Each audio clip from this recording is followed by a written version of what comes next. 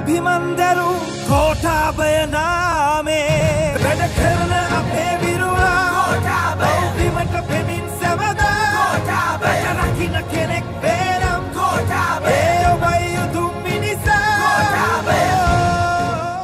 පළාත්පාලන ආයතරහා තමයි තමුන්නාන්සලා ගමේ ප්‍රශ්න රජයට දැනුම් දීලා ඒවා ක්‍රියාත්මක කරන්නේ. මේවා අපේ කාලේ ඉතාමත්ම බලවත් වෙලා තිබුණා. අපි ඒවට අවශ්‍ය ප්‍රතිපාදන ලබා දීලා අපි පළාත්පාලන ආයතන ශක්තිමත් කරා. අපි නැවතත් ඒ පළාත්පාලන ආයතන ශක්තිමත් කළා ප්‍රජාතන්ත්‍රවාදය අපි තහවුරු කරන්නට ඕනේ. අපි ආහාරයෙන් ස්වම් පෝෂිත විය යුතුයි. ආහාර සුරක්ෂිත භාවය අපි තහවුරු කරගන්නට ඕන. අපිට පුළුවන් කමක් නෑ පිටරටින් යැපෙන්නට. ඒ වගේම ගොවියා අපි ජීවත් කරන්නට ඕන. මේ රටේ තවමත් තුනෙන් එකක් කෘෂි කර්මාන්තය මතයි යැපෙන්නේ.